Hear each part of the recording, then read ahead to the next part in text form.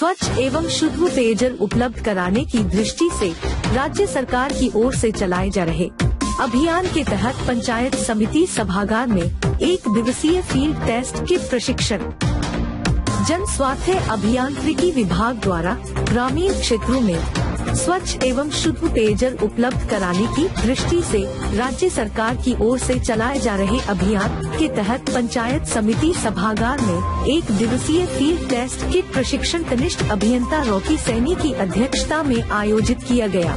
प्रशिक्षण का शुभारंभ पी एच की डी प्रयोगशाला जूनियर केमिस्ट विजयपाल द्वारा माँ सरस्वती पर माल्यार्पण कर किया इस दौरान मंजीता गोयल ने जल जीवन मिशन कार्यक्रम के उद्देश्य, पृष्ठभूमि क्रियान्वयन एवं जन समुदाय की भागीदारी पर विस्तार से प्रकाश डालते हुए कहा कि ग्रामीण क्षेत्रों में जल एवं स्वच्छता समितियों का गठन किया गया है, जिसमें 50 प्रतिशत महिलाओं के साथ ही सभी वर्गों की भागीदारी रखी गई है। जूनियर केमिस्ट विजयपाल द्वारा पानी की गुणवत्ता जांचने के लिए जीवाणु, भौतिक एवं रासायनिक प्रशिक्षण दिया गया। इस दौरान प्रतिभागियों द्वारा अपने साथ लाए गए जल के नमूनों का मौके पर ही परीक्षण कर गुणवत्ता जांचने की विधि।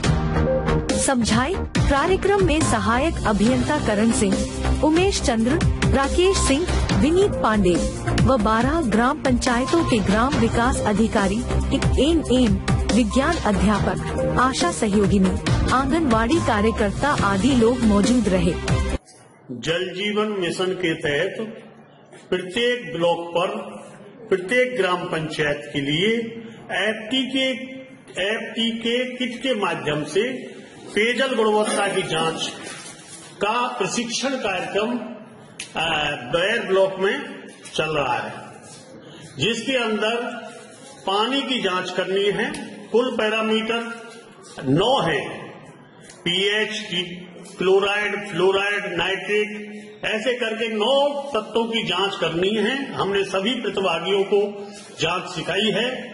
जिसमें कितने तक भारतीय मानक ब्यूरो की पीने की परसीमा है, वो बताई गई है। सभी को प्रशिक्षित किया गया है। वो अपनी ग्राम पंचायत पर जाकर गाँव में जितने भी स्रोत स्थित हैं, उनका पेयजल का परीक्षण करेंगे।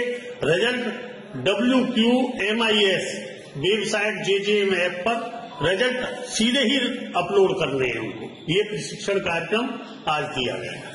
ठीक है।